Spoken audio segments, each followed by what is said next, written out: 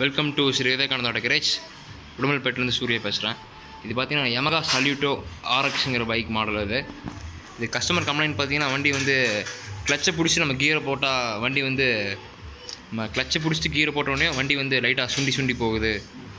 அதுக்கப்புறம் கிளச்சை பிடிச்சிங்கன்னா உள்ள கிளச்சிலேருந்து நாய்ஸ் வருது அப்படின்னு சொல்லியிருக்காங்க. நம்ம கிளச்சை வந்து இப்போ கழட்டி வச்சுருக்கோம் இதில் என்ன ஃபால்ட்னு பார்க்கலாம் அதில் இது பார்த்தீங்கன்னா நம்ம இந்த கிளச் பிளேட் இது. கிளச் பிளேட் தேஞ்சிருக்கு இதில். ஸ்டீல் பிளேட் பார்த்திங்கன்னா வந்து நம்ம ஹீட் ஆகி நல்லா பழுத்துருக்கு இதில். ஹீட் ஆகி பழுத்துருக்கு இதில்.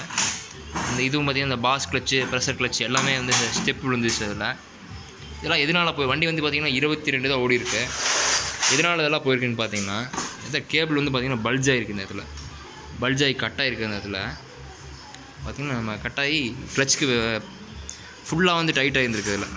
கிளச்சு உள்ளே பிடிச்சே ஓடினாங்காட்டி இந்த மாதிரி ஃபால்ட் ஆகிருக்கு இதில். அதனால் அந்த கிளச் கேபிள் வந்து பார்த்தீங்கன்னா எவ்ரி சர்வீஸ் வந்து செக் பண்ணிக்கணும். ஓவர் ஃபுல் கிளச் வச்சாலும் இந்த மாதிரி கம்ப்ளைண்ட் வருவேன் இதை மட்டும் நம்ம செக் பண்ணிக்கோங்க. அப்புறம் பார்த்தீங்கன்னா அந்த கிளச் பில் பார்த்தீங்கன்னா ரொம்ப ஷேக் இருக்குது இதில். செக் பண்ணிக்கலாம் எப்படி ஷேக் ஆகுதுன்னு. பார்த்தீங்கன்னா கிளச் பில் இது.